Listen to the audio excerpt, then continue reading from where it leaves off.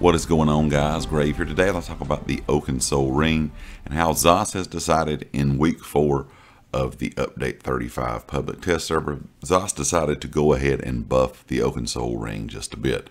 The Oakensoul Ring has seen a lot of changes during this uh, public test server kind of period, but what they did to the Oakensoul Ring I think will make a good bit of the player community happy it was a bit strong in PvP. Let's just be honest. Uh, a lot of the PvP community felt like that it was way too strong to begin with, and it's kind of back on par now over the last several weeks.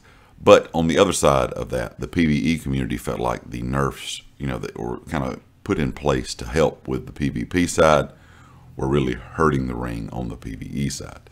So ZOS decided to go ahead and buff the ring this week in the public test server just a bit the item set now will also grant Minor Slayer, Minor Aegis, and Empower. They didn't uh, adjust how Empower works just a bit, but they did put a developer comment on this. So they've been keeping a close eye on the Oaken Souls heated debates throughout the public test server cycle, where the nerfs were uh, noted as justified by most of the community in the uh, PvP environments, but a lot of people in the PvE environments felt like it was hit a bit too hard.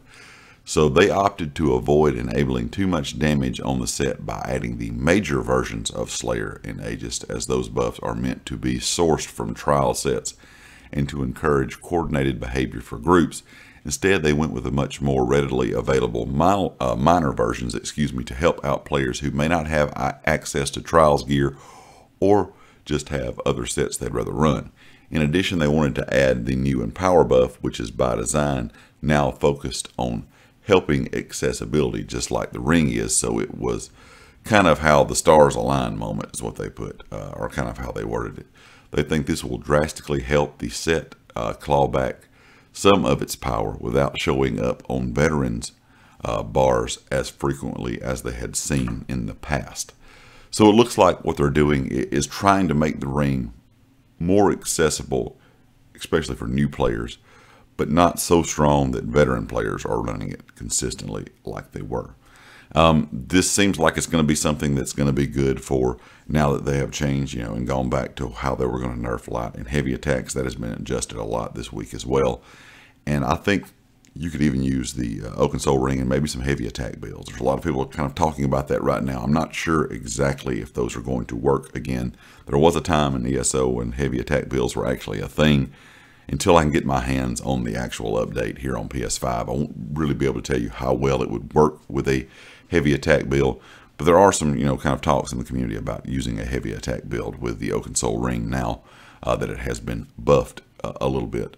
But overall, I think this could be maybe the, the spot the Oakensoul Ring stays in just for a little while. Of course, we all know how mythics are in ESO.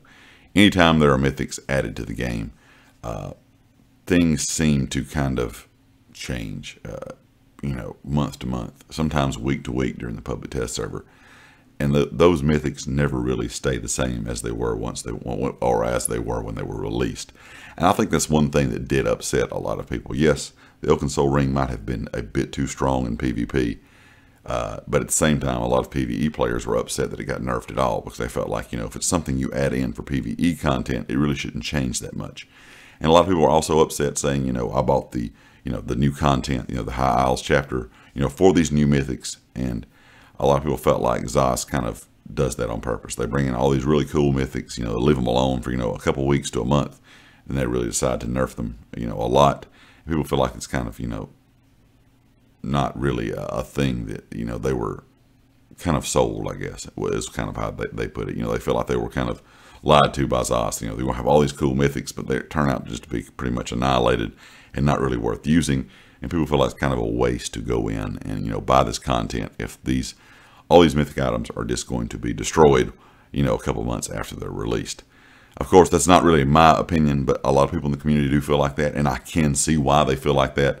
I do think ZOS needs to leave a lot of these mythic items alone a bit more than they do. We'll kind of have to just wait and see how this Oakensoul Ring you know, kind of acts now on the live server.